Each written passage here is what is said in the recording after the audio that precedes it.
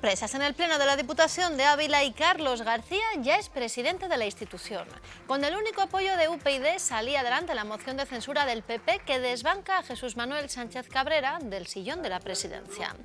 Los 12 diputados populares votaban a favor, salvo uno de los suyos, Ángel Jiménez, que era el único voto emitido en contra. Se abstenían el resto de grupos y el propio Sánchez Cabrera. Buenas noches, Ávila Provincia, ¿cómo están? Es miércoles 27 de marzo, un día histórico para la Diputación de Ávila, cuyo salón de plenos se ha quedado pequeño. Decenas de personas llenaban este y dos espacios anexos que se han habilitado. Respondían así al llamamiento que el PP hacía a sus afiliados y simpatizantes para arropar a Carlos García. No faltaba ni el alcalde de la ciudad o la portavoz del gobierno municipal, así como concejales del ayuntamiento, también de otras formaciones. Pero además desde las filas del recién creado Partido por Ávila que lidera Sánchez Cabrera, también han querido respaldar a este último. Y al margen de esa sesión extraordinaria en Diputación, hay más asuntos que contar que nos llevan además al Ayuntamiento, donde calientan motores para el pleno del mes de marzo, que se prevé bastante más tranquilo que el de la institución provincial. Hoy Ciudadanos e Izquierda Unida daban a conocer las mociones que llevarán a una sesión en la que se espera que María Sánchez Rey tome posesión como concejala de Trato Ciudadano.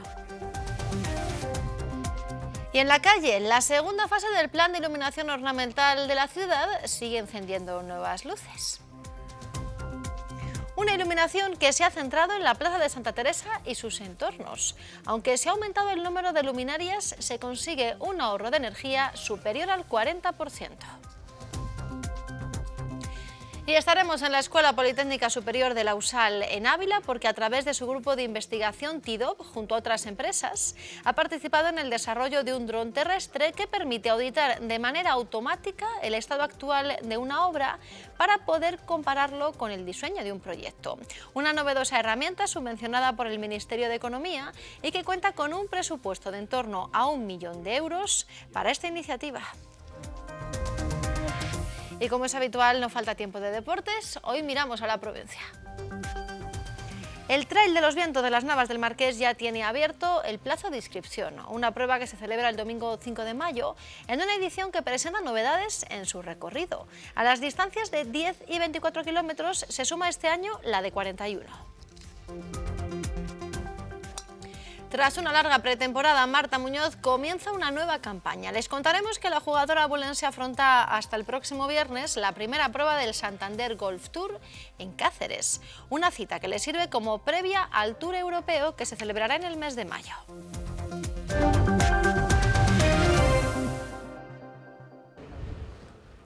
Es la imagen de esta jornada de miércoles 27 de marzo, cielos despejados en un día en el que la mínima registrada ha sido de 3 grados en la capital y 7 grados negativos en el puerto del Pico. Abrimos ya este tiempo de noticias desde la Diputación Provincial con un pleno extraordinario que ya es historia. No ha habido sorpresas en la Diputación Provincial en este miércoles. La moción de censura presentada por 12 diputados del Partido Popular y el único de UPyD ha salido adelante y lo ha hecho sin que ningún otro partido haya dado su respaldo a esta moción que sitúa al hasta ahora vicepresidente Carlos García al frente de esta institución. Siguiendo lo ocurrido en esta jornada en la Diputación de Ávila ha estado nuestro compañero Samuel Senovilla, en la que sin duda ha sido una mañana intensa. Una mañana que comenzaba con nervios y también con la incertidumbre de si volvería la sorpresa que ya se produjese al inicio de legislatura hace cuatro años y protagonizada también por Jesús Manuel Sánchez Cabrera. Pero se ha cumplido el guion y también los tiempos de este pleno, que comenzaba con la creación de la mesa de edad y terminaba con la toma de posesión de Carlos García como nuevo presidente de la Diputación de Ávila. El Pleno comenzaba con la constitución de la mesa de edad con los diputados de mayor y menor edad, es decir, José María García Tiemblo y Eduardo Duque, respectivamente. Tras la lectura de la moción de censura por parte del secretario, era el candidato a la presidencia, Carlos García, el que dejaba claro en sus palabras que su objetivo es preservar la imagen de la institución, aunque también tenía declaraciones para Sánchez Cabrera. Usted, pase lo que pase, circunstancialmente a corto plazo, portará siempre la condición política de la duda en torno a su persona Usted y yo nos conocemos bien. Por ello no tengo ninguna duda de que en su foro interno es consciente de lo que está sucediendo en este momento es inevitable y es lo único que se puede hacer para devolver la normalidad funcional y democrática a esta Casa. Mi candidatura a la presidencia se basa en la firme convicción de que las diputaciones solo pueden ser consideradas seriamente por la sociedad si damos realmente motivos para ello. Esta institución no puede ni debe perder el papel por el que se creó. Por su parte, Jesús Manuel Sánchez Cabrera ha querido dejar claro su agradecimiento al trabajo de todos los diputados, pero pedía una reflexión al PP. Mírenme bien, soy el mismo de siempre. El mismo de hace un mes cuando militaba en el Partido Popular. El mismo de hace cuatro años, cuando ustedes, en su mayoría, me eligieron como presidente. ¿Y ustedes? ¿Siguen siendo los mismos de hace cuatro años? ¿Quieren volver hacia atrás? ¿Quieren volver a la vieja forma de hacer política, la del acomodo, la del orden y mando, la del oscurantismo político? Palabras en esta intervención, y no por ello menos importantes, son para mi familia. Ellos han sido mi piedra angular. Para ellos han sido cuatro años de muchas ausencias, quizá demasiadas, pero en lo que no ha habido reproches.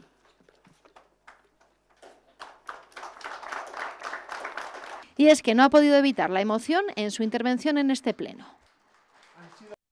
Pues siguiendo el guion marcado, tras la intervención de Carlos García como candidato a la presidencia y Jesús Manuel Sánchez Cabrera todavía como presidente de esta institución, llegaba el turno para los portavoces de los grupos políticos que conforman la Corporación Provincial. Este pleno está perfumado irremediablemente con una sensación de trascendencia para el futuro de la provincia de Ávila, a pesar de que en apariencia solo intenta escenificar la ejecución de la orden suprema de cambiar al encargado de administrar la red clientelar. Esta moción no es ni más ni menos que el equivalente político a la pataleta de un niño pequeño. ¿Cuál es la diferencia? Que la pataleta se ha traído a una institución que merece mucho más respeto del que ustedes le están mostrando. No podemos consentir ningún comportamiento que se aleje de la ética política y el buen gobierno y que convierta a esta Diputación en un caso más de mala práctica política. Seríamos responsables directos de ello y estaríamos avalando lo que se ha denominado vieja política. Tiene la misma credibilidad el censurado que el que se postula para su sustitución.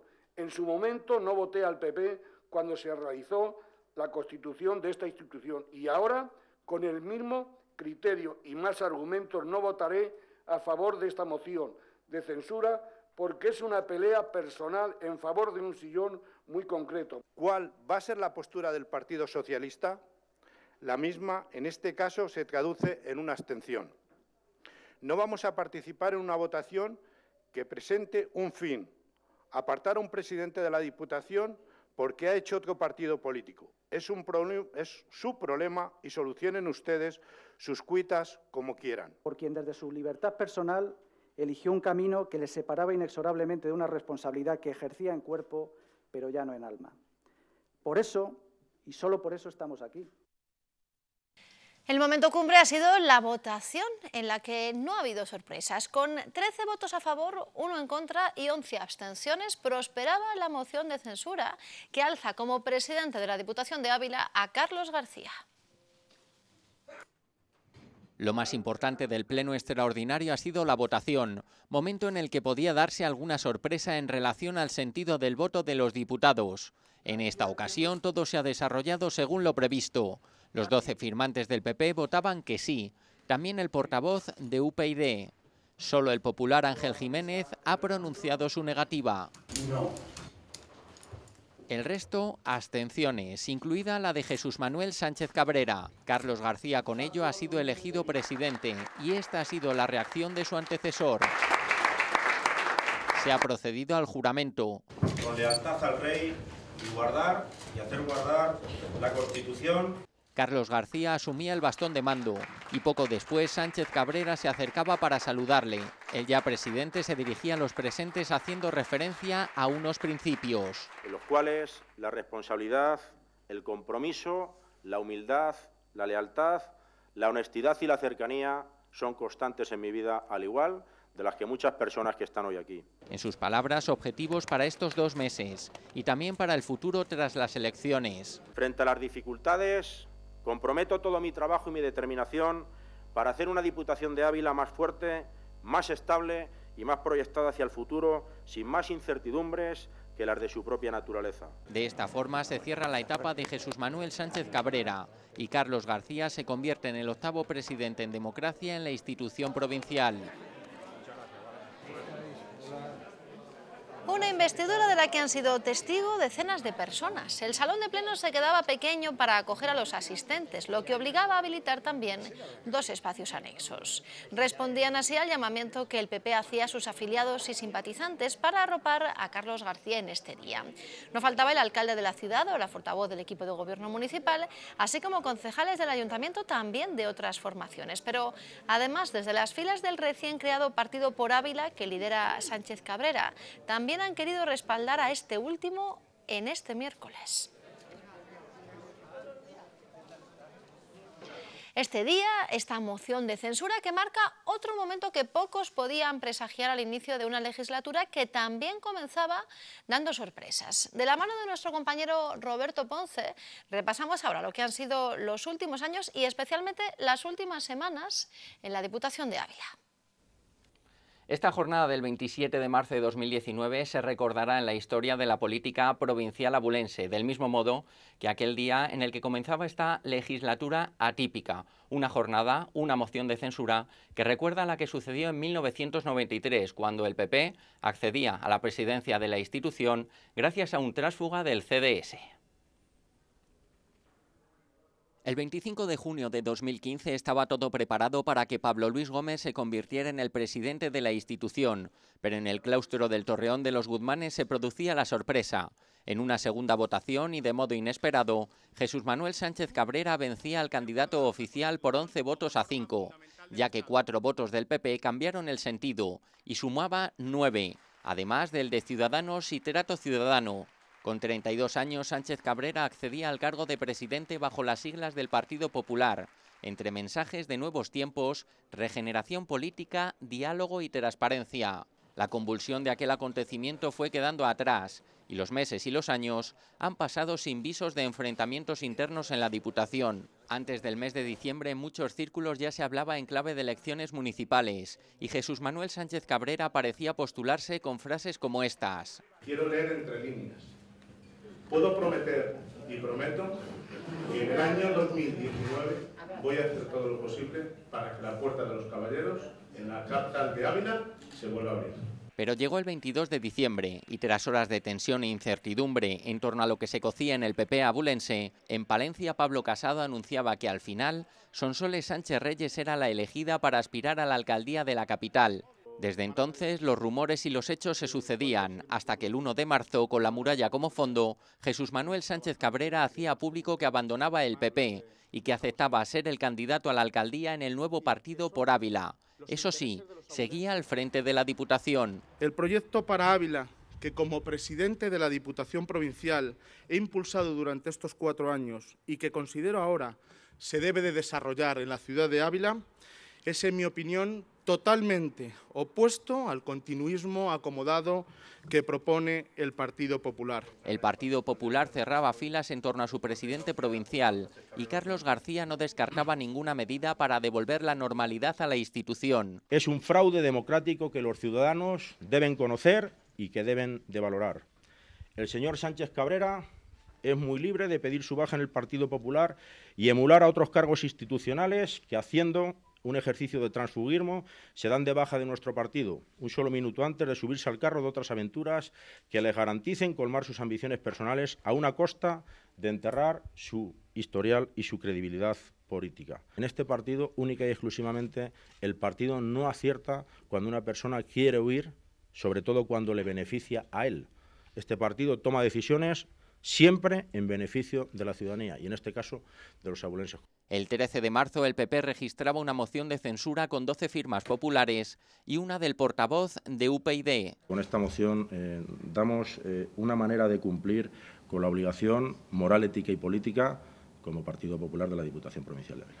Tras ello, cruce de acusaciones, reproches y hace dos días, en el pleno ordinario del mes de marzo, Sánchez Cabrera pasaba a ser diputado no adscrito, a la espera de esta moción de censura que ya en este miércoles termina con su etapa como presidente y con Carlos García al frente de la institución provincial.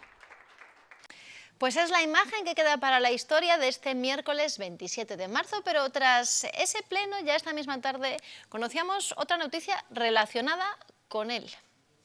Porque Ángel Jiménez ha presentado su baja como afiliado al Partido Popular tras 28 años, al considerar que para la formación el PP está por encima de los abulenses. De igual manera, al igual que Jesús Manuel Sánchez Cabrera, solicita con ello pasar a ser diputado no adscrito. Ángel Jiménez, en nota de prensa, ha apuntado que lamenta los ataques personales e injustificados contra el hasta hoy presidente de la institución, a su juicio el mejor presidente de la Diputación que ha conocido. Y cambiamos de asunto, nos vamos ahora hasta el Ayuntamiento de Ávila, que mira ya al pleno del próximo viernes. Esta mañana Ciudadanos presentaba las dos mociones que llevará a la sesión. Una de ellas en la que pedirán a los grupos políticos den su apoyo a la plataforma 45 sin despidos, formada por profesionales militares. Un colectivo que, según indica el grupo de Ciudadanos, una vez alcanza la edad de 45 años, concluye su relación con el Ministerio de Defensa pasando a ser reservista y en, muchos casos pasando a cobrar poco más de 600 euros. Por este motivo, desde la formación naranja consideran que en Ávila son muchos los militares que pueden encontrar en esta situación y por ello presentan esta moción. Junto a ella, otra destinada al impulso de Ávila como ciudad creativa, con la puesta en marcha de un concurso de arte urbano de la mano del graffiti como punto de partida a un museo al aire libre. Este concurso estaría dotado económicamente, lo que permitiría atraer a los artistas de primer orden dentro del sector, sin prejuicio de artistas jóvenes que no se dediquen tampoco a esta esta labor de manera profesional. Es más, eh, podríamos incluso, entendemos que se podría convertir en una fuente de ingresos adicional a la ciudad gracias a la repercusión mediática que tendría incluso dentro de, de Castilla y León y de España. También Izquierda Unida ha presentado sus dos mociones para el Pleno Municipal de este viernes. La primera de ellas se centra en los vehículos eléctricos que proliferan ya por todas las ciudades de España. Por ello, la formación de izquierdas planteará en su propuesta que se constituya una mesa de trabajo para analizar y poner en marcha medidas para fomentar el uso de este tipo de vehículos, así como la instalación de puntos de recarga. Por otro lado, en la segunda proposición pedirán la creación de un plan municipal de vivienda que dice IU ya debería estar sobre la mesa con iniciativas concretas captar viviendas desocupadas, esas viviendas que hemos dicho que podían ser susceptibles de ver incrementado su IBI hasta en un 50%, para ser incluidas en un programa de alquiler social que garantizara no solo que según las condiciones económicas de los posibles eh, arrendadores, o sea, mm, inquilinos, eh, tuvieran acceso a unos precios justos a esas viviendas en alquiler, sino también garantizarle al propietario tanto el cobro del alquiler como el mantenimiento de la vivienda. El Boletín Oficial del Estado publica en este miércoles que, tal y como les contábamos ayer, en Ávila 10 partidos se presentan a las generales del 28 de abril. Pero se trata de PP, PSOE, Ciudadanos, Vox, Actúa, Falange Española, ACMA, Recortes Cero Grupo Verde, por un mundo más justo y Unidas Podemos, ya que aunque en un principio IU y Podemos habían facilitado a los medios de comunicación los nombres de sus cabezas de lista de modo independiente, finalmente se presentan en coalición. De estos, solo Actúa no ha registrado candidatura al Senado.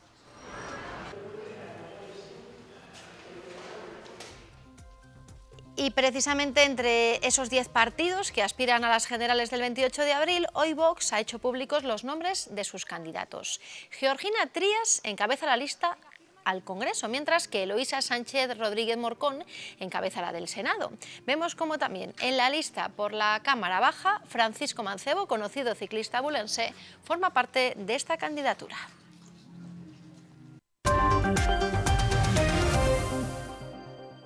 Son las imágenes que yo las he visto y me han mandado los vídeos intolerables eh, del trato de los animales y por tanto esto tiene dos vertientes. Una vertiente es que se prona a la Guardia Civil al que se ha formulado denuncia, pues está haciendo un atestado que presentará la autoridad judicial y la autoridad judicial tendrá que analizar si los hechos son constitutivos o no de infracción penal.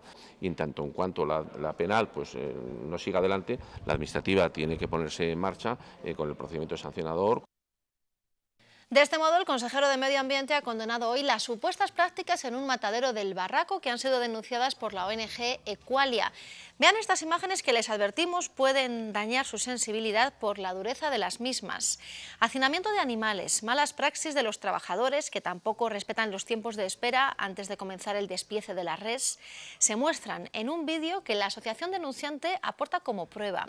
Mediante una denuncia ante los juzgados pretenden que se abra una investigación sobre estos hechos que pudieran ser constitutivos de delito y se determinen las responsabilidades oportunas. Ya hoy, el delegado territorial de la Junta ha dejado claro que esta exigirá precisamente eso, responsabilidades tras mostrar su más enérgica condena a esas supuestas prácticas. Dice José Francisco Hernández que es un tema que preocupa a la Administración regional, que va a hacer cumplir la normativa y velará por el bienestar animal. Confirma que no había conocimiento previo de que esto estuviera ocurriendo. Ahora lo que tenemos que hacer es levantar un, eh, acta de infracción en base a esa... Eh, documentación videográfica eh, y que llevará consigo también pues, eh, visitas y verificación de lo que pueda haber ocurrido, de lo que pueda haber estado ocurriendo durante todo este tiempo y de forma inmediata pues, se iniciará un expediente sancionador con ese principio de contradicción, plazos, etcétera, como cualquier otro administrado. Pero vamos, de lo que se trata no solamente es de depurar responsabilidades, sino que si esas prácticas se han llevado a cabo, y parece que así ha sido, presuntamente así ha sido, pues que se interrumpan de forma inmediata. Pues de ello hablaba esta mañana José Francisco Hernández en el espacio CIL Digital, porque allí se ha conseguido un premio y un finalista en la primera edición de los galardones nacionales Somos Digital. El proyecto Robótica Educativa para la Discapacidad de Ángel Martín ha sido galardonado con el premio Somos Digital en la categoría de Inclusión Digital, una iniciativa que a través de la programación y la robótica trata de potenciar distintas habilidades, promover la inclusión digital y mejorar la comunicación, la psicomotricidad, el trabajo en equipo, la visión espacial, la secuenciación temporal de tareas y sobre todo la autoestima. Lo que tratamos es de aumentar esa autoestima, que mejoren y, que sigan avanzando eh, en este mundo de las tecnologías que para nada es, para ellos no es un mundo ajeno. Parece que ellos están al margen de la sociedad o de las tecnologías y todo lo contrario. Además, María del Pino Gómez, también dinamizadora tecnológica, ha conseguido ser finalista en esta misma categoría con su proyecto Gamificando Juntos, que pretende mejorar habilidades clave a través del juego. La tecnología no puede ser una barrera más para ellos. Creo que es una forma, desde luego, de integración e inclusión digital, pero desde luego integración social. Entonces aquí trabajamos con colectivos, mm, la mayoría de ellos en exclusión social, aunque bueno, no son todos. Ambos son dinamizadores tecnológicos en el espacio CIL digital. Pero es un espacio en el que sobre todo las personas más desfavorecidas, las personas que lo tienen un poco peor, pues tienen la oportunidad eh, precisamente de empoderarse, de afianzarse, de mejorar sus eh, capacidades. En estos premios Somos Digitales han participado 80 profesionales de toda España en tres categorías donde se han presentado hasta 40 candidaturas. Continúa la puesta en funcionamiento de la segunda fase del plan de iluminación ornamental de nuestra ciudad. El último encendido en tener lugar nos llevaba hasta el centro neurálgico de Ávila, en concreto a la Plaza de Santa Teresa y su entorno. Desde este momento, uno de los puntos de mayor atracción para bulenses y visitantes ya brilla con luz propia, una demanda histórica por parte de la Asociación de Vecinos de la Zona Centro. Esto es una alegría, primero para la ciudad, porque había una cierta inquietud y cierta protesta, cierta reivindicación de que la plaza de Santa Teresa, la más emblemática de esta ciudad, pues se encontraba a oscuras, como se ha podido comprobar en el tiempo. De esta manera, la segunda fase del plan de iluminación ornamental se ha puesto en funcionamiento en uno de los lugares más relevantes de la ciudad, la Plaza del Mercado Grande. De aquí parten eh, varias procesiones de la Semana Santa y pasan muchas más por el, por el entorno. Entonces creemos que esta luminosidad que, que luce ahora pues la va a realzar todavía más. Una iluminación que se ha centrado en la propia plaza y sus entornos, la Puerta del Alcázar, la Iglesia de San Pedro, la Palomilla y que se ha extendido a la Plaza del Ejército y a la Iglesia de Santa María de la Antigua. Con este conjunto lo que queremos es dimensionar el, espacio estancial de la plaza, dotarlo de, de una presencia y de un aspecto un poco más escenográfico, poniendo en valor los diferentes elementos arquitectónicos y también eh, ayudar a, explicar los elementos que tienen valor marcando jerarquías. Esta nueva iluminación está compuesta íntegramente por tecnología LED, que incluso aumentando las luminarias de 182 a 237 consigue un ahorro de energía del 41%. Y nos vamos ahora hasta las aulas, en primer lugar hasta las de la Universidad de Salamanca, porque en su escuela politécnica el grupo de investigación TIDOP ha presentado esta mañana un dron terrestre que forma parte de un ambicioso proyecto financiado por el Ministerio de Economía con en torno a un millón de euros. Un dron que permite auditar de manera automática el estado actual de un edificio para poder compararlo con el diseño inicial de su proyecto. De esta manera, las empresas de construcción podrán acometer los controles de calidad de las obras de forma más rápida y ágil. Es el mejor ejemplo para mostrar cómo las obras de edificación, en este caso, a través de la empresa líder del consorcio, que es Vías y Construcciones, va a permitir auditarlas, va a permitir controlarlas en todo momento y en cada una de sus fases. Está equipado con varios sensores de última generación, posibles de detectar obstáculos, un escáner láser terrestre que permite una radiografía tridimensional de la zona y un planificador de rutas que facilita que el dron transite de manera autónoma por la obra un robot que permitirá controles de calidad más objetivos y automatizados. Que nos va a dar esa objetividad que siempre se ansía en una obra y en máxime en las certificaciones de obra.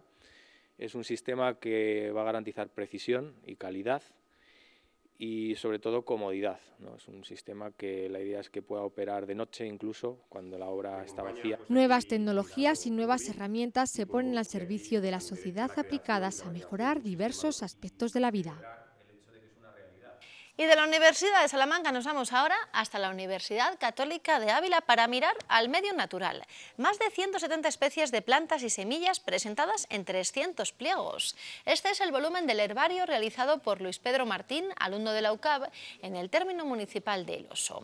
Y ahora, nueve años después, la Universidad Católica entrega dicho herbario al consistorio de esta localidad para su puesta en valor. La mayor, la mayor parte son plantas halófitas ligadas a sistemas de laguna. Tenemos mucho conocimiento de las aves que, vienen a emigrar y todo eso ahí, y también queríamos saber qué flora tenemos en este municipio. Entonces, no viene muy bien tenerlo ahí en el centro, todo lo colocaremos y, Con ese proyecto eh, fin de carrera realizado por Luis Pedro y en colaboración con el, con el oso se quería ver qué mosaico de vegetación existía para ver eh, las figuras de protección que se pueden realizar y poner en valor todo este patrimonio vegetal que existe ahora mismo y que nos está, nos está dando importancia. Y ya antes de abrir tiempo de deportes, un último apunte ligado también a la Universidad Católica de Ávila. Nos quedamos aquí, en nuestras instalaciones, porque de nuevo hemos recibido la visita de alumnos del Bachillerato de la Excedencia, promovido por la Universidad Católica, en este caso llegados desde la Medalla Milagrosa. Visitaron las instalaciones del Grupo Promecal, que engloba la 8 Ávila, Onda Cero y Diario de Ávila. Una ventana de jóvenes pudieron acercarse a conocer el día a día de este medio de comunicación.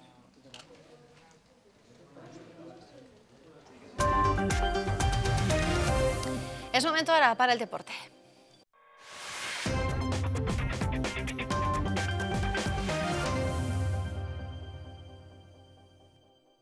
Abrimos tiempo de deportes y lo hacemos mirando a nuestra provincia, porque el Trail de los Vientos abre el plazo de inscripción. En esta ocasión, y centro de ese circuito cuatro desafíos, se celebra el próximo 5 de mayo y lo hace en las Navas del Marqués incluida como la última prueba del circuito cuatro desafíos, el Trail de los Vientos a las distancias de 10 y 24 kilómetros añade este año la de 41. Tanto en los 41 como en los 24 habrá cinco categorías, Senior, Master 40, Master 50, Senior femenino y Master femenino. En los 10 se reducen a 4, Senior, Master, Senior femenino y Master femenino. Las inscripciones se encuentran ya abiertas hasta el próximo 2 de mayo a un precio de 16 euros y medio para los 10 kilómetros, 22,50 para los 24 y 39,50 para la prueba de 41 kilómetros.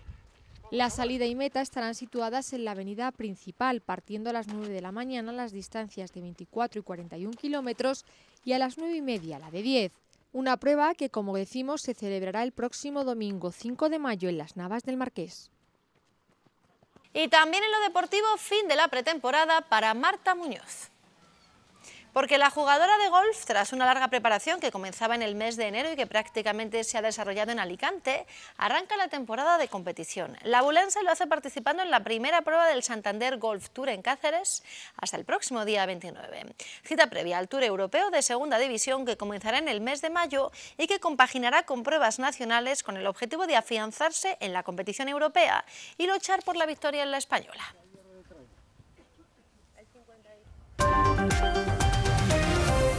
Vamos ya con las previsiones del tiempo.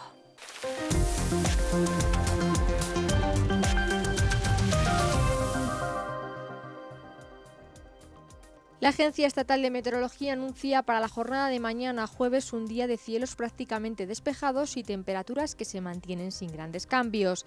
En la capital se espera que el mercurio alcance los 16 grados de máxima y registre una mínima de 2. Temperaturas negativas que se van a registrar en la zona de Gredos, en concreto en Barco de Ávila, siendo esta de un grado negativo. El valor más alto un día más en Candeleda, el mercurio alcanza los 21. Luce el sol en toda la zona del Tietar, el Alberchi Pinares. El mercurio se queda cercano a los 20 grados en las horas centrales del día y con mínimas en torno a los 5 o los 6 grados. En Hoyo de Pinares se espera una máxima de 17 grados y una mínima de 4, algo más bajas en Navalperal de Pinares y con máximas sin grandes cambios. En las Navas del Marqués el mercurio oscila entre los 14 grados y los 2. Resumimos a continuación la previsión para mañana jueves en la capital. Luce el sol con temperaturas que se quedan en torno a los 16 grados de máxima. Y de cara a los próximos días, algunas nubes altas y temperaturas máximas que podrían seguir ascendiendo. Pues con el tiempo, como es habitual, nosotros nos vamos. Ya saben que la programación continúa ahora en la 8 Ávila. Pasen una buena noche.